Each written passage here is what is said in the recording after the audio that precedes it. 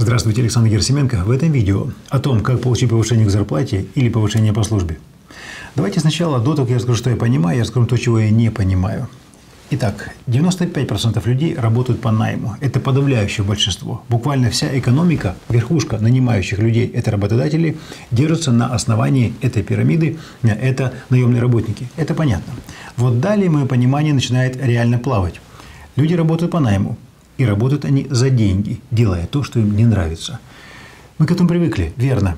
Но я это отказываюсь понимать, потому что ты отдаешь всю свою жизнь, делая то, что тебе не нравится, и зарабатывая при этом мало денег. Здесь это уже мое понимание, как не смотреть, не укладывается. А вот далее я вовсе не понимаю. Итак, внимание. Большая часть людей работают по найму. Они работают из-за денег на работе, которая им не нравится. И третье. Они понятия не имеют, как им зарабатывать больше денег. Люди обращаются к интернету, и интернет говорит – как им прийти к боссу и правильно построить с боссом беседу. То есть предпосылка такая. Разговариваешь с боссом правильно, он дает тебе повышение э, по службе или повышение зарплаты. Разговариваешь с ним неправильно – нет.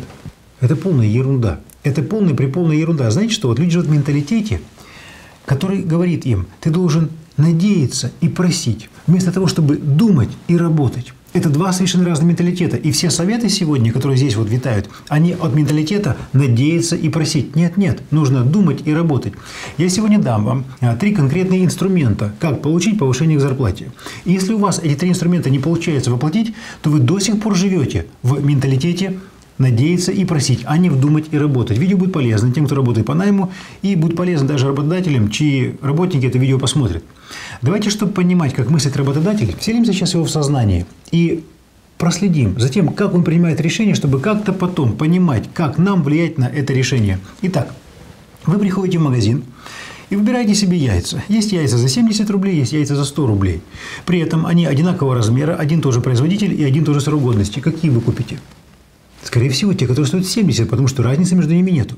Теперь давайте еще живемся в создании работодателя. Он выходит на рынок труда.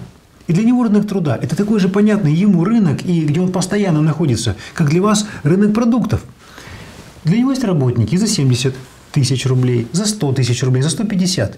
При всех равных условиях кого он выберет? Того, кто за 70. Потому что он мыслит такими же шаблонами, как мыслите вы. И все мы подчиняемся общим законам экономики. При равных прочих условиях мы выбираем тот, кто дешевле. Отсюда вытекает, есть только три правила – соблюдая которые вы можете законно не просто попросить вашего босса о повышении в зарплате, а получить повышение вашей зарплаты. Первое. Помогите вашему боссу или основателю компании, или вашей компании зарабатывать больше денег. Точка. И здесь у меня огромное количество вопросов к людям, которые приходят на работу, что-то делают там с утра до вечера, пьют кофе, вежливо здороваются, ублажают босса. Они не понимают, зачем они реально пришли. Все твои действия в итоге сверяются с ты помогаешь компании зарабатывать много денег, либо не помогаешь. Если не помогаешь, ты просто занимаешь ту же самую маленькую ячейку, где ты был, которая тебе изначально была выделена, когда тебя нанимали на работу. Люди скажут, ну у нас нельзя помочь компании больше денег зарабатывать, я на другой должности. Именно поэтому в этой ячейке ты занимаешь это место. Пока ты будешь в этой ячейке делать ту же самую работу, из-за которой тебя туда нанимали, ты будешь столько же денег получать. Для того, чтобы выйти из этой ячейки и перебраться в лоток покрупнее, или там, где золотые яйца, или, может быть, даже ты станешь гусем, несущим золотые яйца, тебе нужно вылезти из этой ячейки и начать делать обязанности, которые не попадают в нее. Недавно был бой. Я говорю, недавно, он был, видимо, год назад – он впечатлил меня. Э, впечатлил меня больше не сам по себе э, как событие, а больше как организация. Майк Тайсон и Рой Джонс Джуниор. Майк Тайсон – легенда бокса, Рой Джонс Джуниор – это э, боксер, который был на первом месте паунд for паунд вне зависимости от весовой категории. Это тоже легенда бокса. И оба этих легенды ушли с ринга с миллионами долларов. При этом, что нужно понимать, обоим им за 50. Они сегодня далеко не в лучшей форме. И сегодня есть, я сейчас скажу, видимо, цифра будет объективна, десятки тысяч людей, которые способны победить их в ринге. Почему тогда им дали так много денег? Они ушли с миллионами долларов. Да потому что они помогают компании заработать миллионы долларов. Майк Тайсон – высокомедийная персона. Рой Джонс Джуниор. Этот бой был интересен фанатам бокса. И люди смотрели на него. Дело не в том, как справедливо тебе получить зарплату. В том, что есть другие боксеры, которые тоже могут сейчас боксировать и делать это лучше, чем сейчас Майк Тайсон. Не в этом сейчас дело. Дело в том, что эти два боксера помогают ком компании промоушену зарабатывать много денег. Все, поэтому немного получают. Это самое главное, это финальный критерий сегодня. Том Круз, как актер, он получает десятки миллионов долларов за фильм.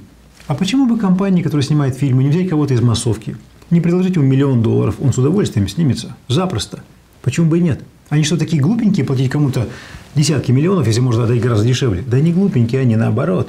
Том Круз – это гусь, несущий золотые яйца. Мы когда в кинотеатр идем или покупаем фильм, мы смотрим не фильм, который снял Universal Studio, либо другая кинокомпания. Мы идем на фильм с Том Крузом, потому что он помогает компании заработать так много денег. Именно поэтому он столько денег получает. Это было первое правило. Хотите получить повышение к зарплате – Помогите компании заработать больше денег. Пускай этот обмен будет объективным. Здесь простое правило. Помните, как Ломоносов говорил в химии?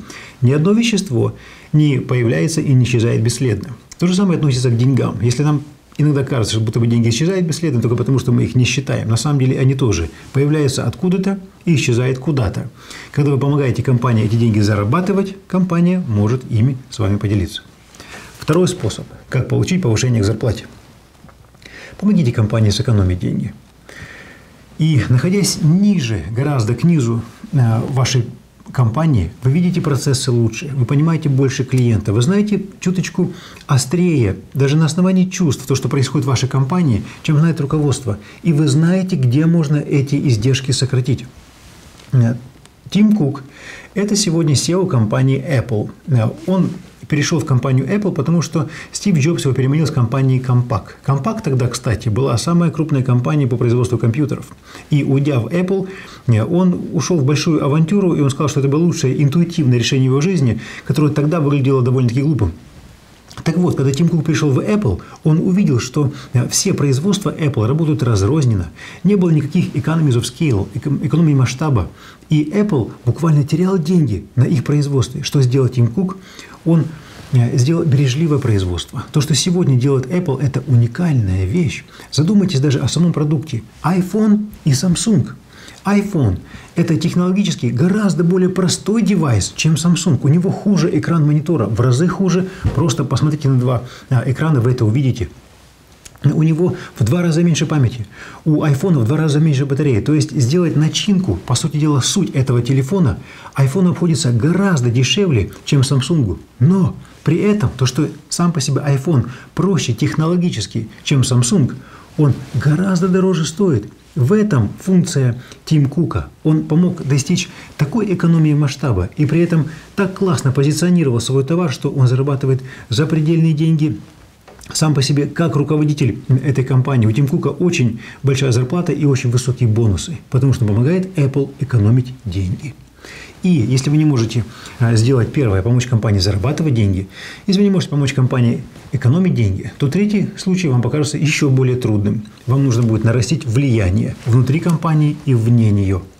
Для того, чтобы команды внутри любой компании завершали проекты и действовали очень эффективно, нужно влияние – Нужен лидер команды. Люди так просто не будут оставаться после работы. Все эти вещи так просто не делаются. Корпоративная культура – это не просто свод написанных правил. Это правила, по которым живут настоящие люди.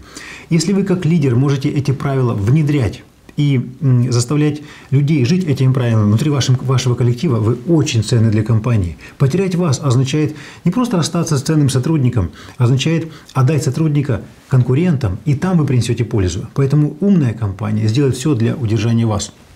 Если вам сегодня кажется, а, что ну, у меня все эти вещи не проходят, ну тогда вам нужно просто оставить вашу компанию, совершенно просто уйти из нее и проработать те же самые принципы в любой другой компании, нормальной, умной компании, которая способна оценить вашу способность зарабатывать деньги, экономить деньги да, или а, нарастите влияние внутри вашей компании, либо вне нее. Если вы эти вещи сделаете, вам никогда не придется надеяться и просить, потому что вы сможете думать и работать. И так вам повысить зарплату и получите повышение по службе. С вами был я, Александр Герасименко. До встречи.